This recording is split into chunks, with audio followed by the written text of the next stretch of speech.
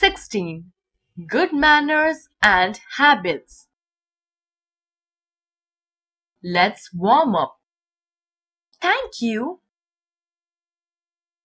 Please help me.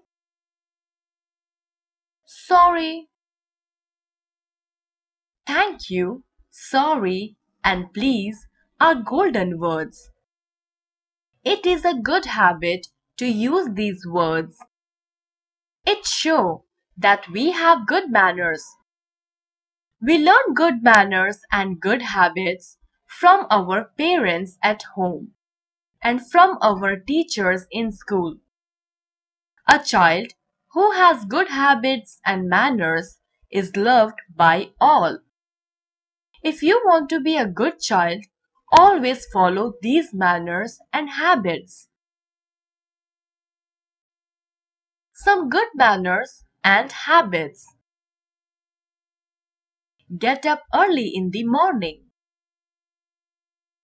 Brush your teeth twice a day. Take a bath daily and wear clean clothes. Eat meals, study and play at proper times.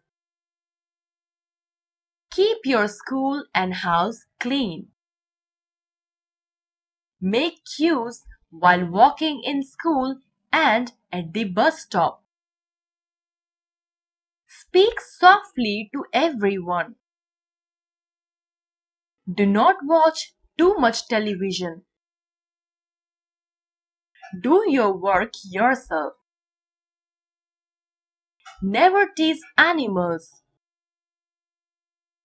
Say thank you when someone gives you something. Say sorry when you do something wrong. Say please when you ask somebody for something.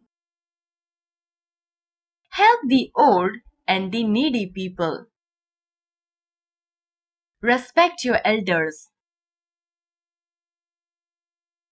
Life skills. Nandini bites her nails all the time. Is it a good habit?